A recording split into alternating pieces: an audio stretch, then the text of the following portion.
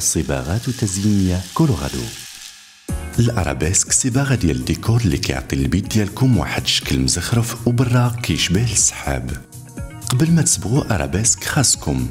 صباغات الكولوفوندو صباغات الأرابيسك rouleau ديال laque pinceau قطعة بلاستيك خاصة بالأرابيسك باش تحصلوا على أحسن نتيجة ديال صباغة الأرابيسك خاص. يكون الحيط مهيئ مزيان بالبريماسيون. لا ندويو couche ديال الصباغة. نطبقو couche ديال كولوفوندو بشكل croisé ومخفف بنسبة 10% ديال الماء تقريبا.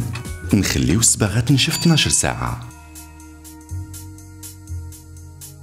نطبقو couche ديال الأرابيسك بواسطة ال pinceau بطريقة معكوسة. باش ما ينشفش الأرابيسك ما نطبقوش أكثر من جوج متر مربع.